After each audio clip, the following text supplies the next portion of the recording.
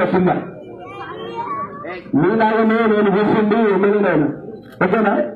వినాలా? కాబట్టి మరి స్వార్థం లేకుండా నేను నా కుటుంబం నా గుడి నా బడి అని ముందటికి వచ్చి ప్రతి ఒక్కరు ఎమ్మెల్యేగా నేను ఒక్కరినే కాదు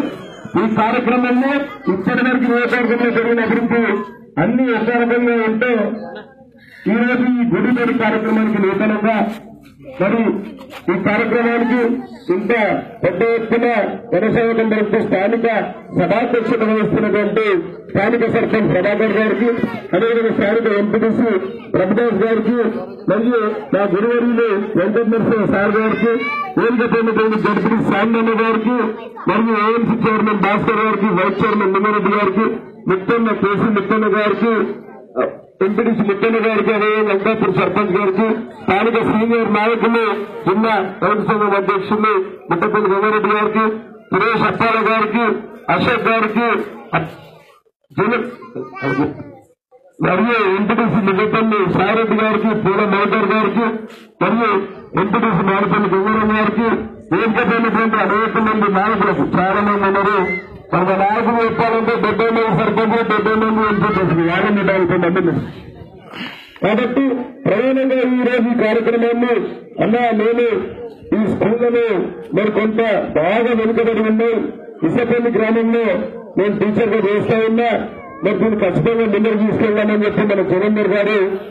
గతంలో చాలా సార్లు ఉన్నారు మరి అట్లాంటి కార్యక్రమాల వల్ల మొట్టమొదటిసారిగా నేను చదువుకునే స్కూల్ అయితే బాగుంటుందని చెప్పి కోరుకొని మరియు ఈ స్కూల్లో పెట్టుకున్నాం కాబట్టి ఈ కార్యక్రమానికి ఉదయం నుంచి హాలిడే అయినప్పటికీ కూడా కార్యక్రమానికి ఇచ్చేసి మరి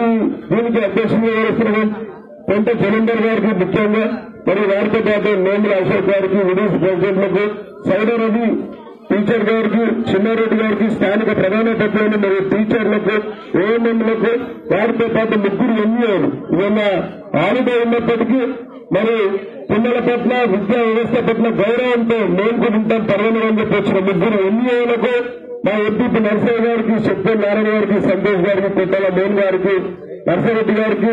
అదేవిధంగా సాయన్న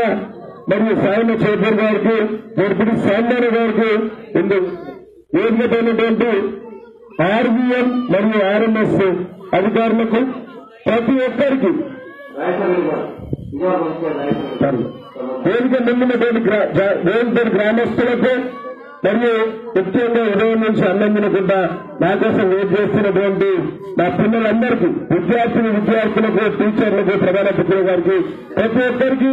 హృదయపూర్వక ధన్యవాదాలు తెలియజేస్తూ ఉన్నాను.